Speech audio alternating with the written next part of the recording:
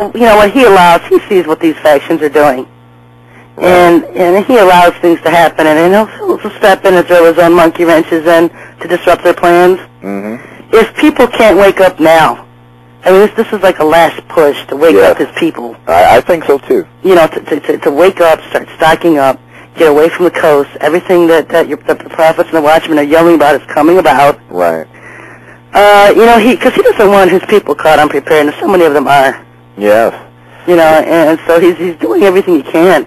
Well, I, I have one final point because I consider myself kind of a prophet too because I try to tell all my friends and family, but it's like they're all missing this perspective of sin. You know, they're they're all Christians, you know, because I only minister to Christians, I only talk to Christians because I have an expectation that they should know what's going on, but they it's like they they don't see evil for what it is or or the sin of this nation for what it is, and it because if they put it all together they would know that God has to act. God has to do something about what's going on here. Yeah, well, you know what? They've they've they've compromised with it.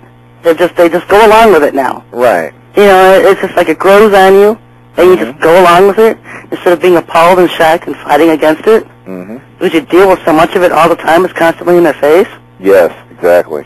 Uh, yeah, and, and it's apathy, and it's, that's a big problem with the churches today. And, and the churches today just really don't preach against it. Exactly. You know, I've had people donate to my ministry for the sole reason because I, I taught against sin, Uh-huh. but they, they, that the pastor didn't. right. Exactly. You know, and it's apathy, and you know what? You know what I'm hearing more and more and more of from from believers or just people that are searching for the truth is, is they can't believe that God is a God of judgment.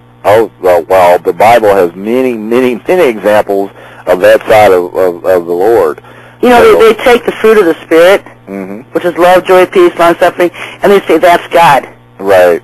and they totally leave out what he says about his own aspects of being a judge Yeah. and holding people accountable. Exactly. You know, and so they totally ignore that aspect and just embrace the fruit of the spirit and say that's God. Right. There's no judgment. There's no accountability. No, I agree with that. I think that's one of the biggest problems, because because they keep hearing about you know bad times are coming, bad times. I'm like, I'm like, look, bad times are already here. Yeah. It's been happening. You're just not seeing it for what it is. Yeah, you know, and, and now that we're losing, starting to lose massive amounts and chunks of population here and there, Uh huh.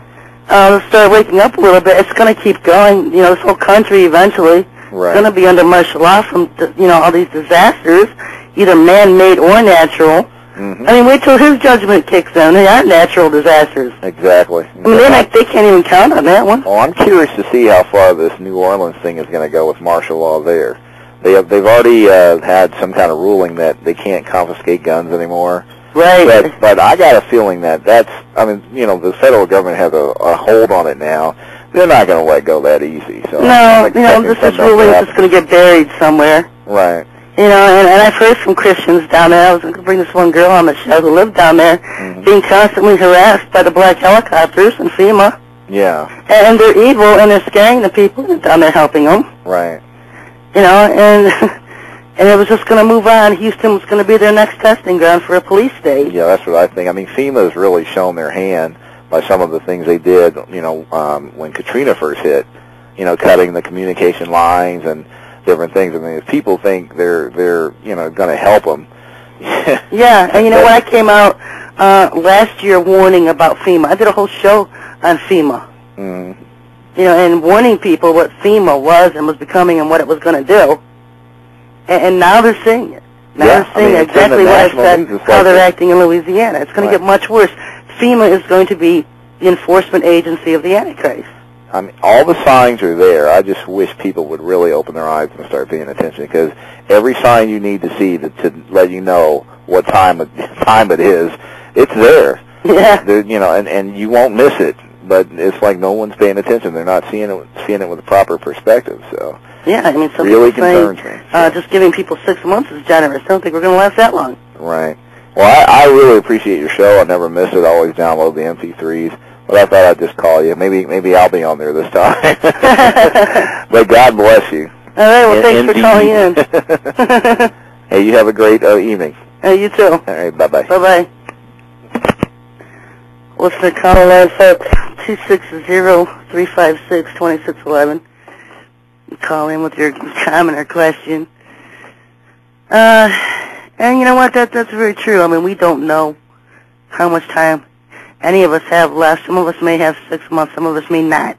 You may be in one of these hot areas uh, that are going to suffer a, a hurricane or an earthquake. I mean, right now we're going through a period of hurricanes, possible earthquakes, and tsunamis uh, up until November. And so uh, anything could turn around and strike.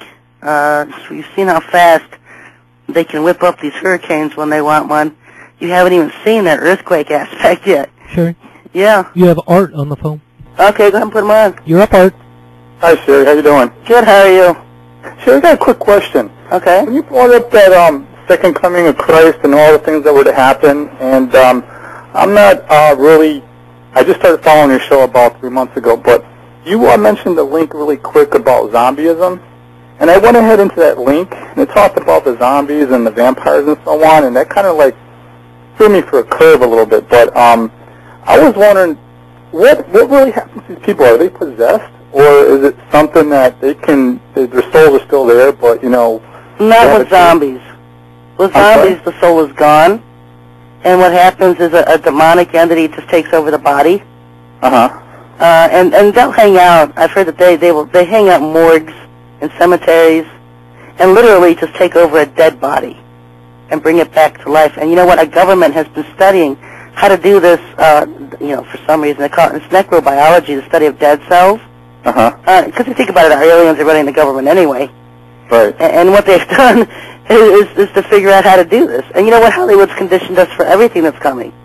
If you look at all the movies that we thought were just horror films, Oh yeah, I mean that these was are like one of my- coming. These are coming. I It just freaks me out to no end the more I learn uh, Yeah. to look back at what we've been conditioned, to already been conditioned to uh, know that's coming. And so what, Right. what these zombies are, is they're already dead. These people are dead. And Okay, they're long gone, and a, and a demonic entity takes over that person's body. Okay, what's your take on the vampires then? I mean, once they're bitten, you get you know you get contaminated, you become one, and you know you, you can't be exposed to the sun, and you have these superpowers, and I mean, what what's your take on that? I mean, um, what what's happened to the people there And what? as far as vampires are concerned? Vampires? Yes. That's actually a real, a real, uh, that's real too. I don't, I don't get into that as much because I really don't understand some kind of a disease. Uh, but this whole thing, uh, with Dracula was, was real. It was true. It was, uh, this person actually existed. And vampires actually do exist. Right. Uh, but I don't, I don't have, I don't have much on that. Uh, not like I've been learning about zombies. You know, and I've just been thrown into this area. So I don't Yeah. have a lot of, It kind of threw me for a loop when I was reading your, your, your link, and then all of a sudden I went into that. I was like, whoa, you know, what the heck is this? I thought, you know, just just trying to absorb the alien aspect, which, you know, I'm, I'm accepting now, but Yeah, and then don't you throw something else at you? She's really crazy. Uh, I'll tell you what, I had I had a hard time thinking for a couple of days because, you know, I watched all those movies. I mean, I enjoyed, you know, being afraid and, you know, the fear of what could happen, and although I'm not, you know, a sadist and looking into people getting eaten up or anything like that, but, you know, it's just kind of interesting to watch once in a while, you know, be scared, and, and now... you know what? I've heard of this this phenomena that's starting about about people that are that that, that